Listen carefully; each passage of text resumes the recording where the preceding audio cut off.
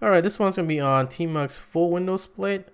Um, by default in Tmux, like all the other versions and so on and so forth, you're really not splitting uh, windows, you're splitting panes, right? You have your hotkey, let's say for example, um, I wanna split like this, and you're splitting panes and you're splitting, you know, panes to smaller panes, but you're really not splitting like the whole uh, window.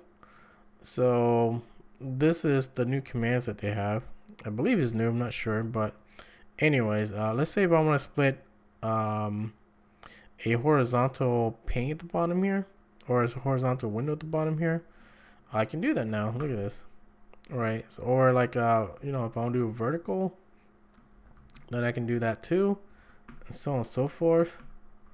Um, before you can't really do that because you, you only like you know um, whatever your existing pane is that's that's the max size you can do but this one it can go uh, the full window. And that's what we're gonna do when I set that up. There's like no hotkeys for it so you have to set up manually. But anyways uh, open up your tmux configurations here. And the way I have it set up um, well these ones are splitting for panes and normally those hotkeys are uh, prefix and was that percent sign? Prefix and double quotes right but I like to rebind them to uh, visually for me I know this one the backslash is up and down motion so I know that's a vertical split. And if it's like you know left or right with the dash here then I know that's a horizontal split and I think a lot of people rebind it to that.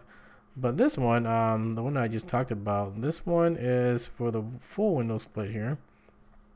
And I pretty much use the same hotkeys, just that you have to hold shift to um, you know do the pipe sign and shift to do the uh, underscore here, right?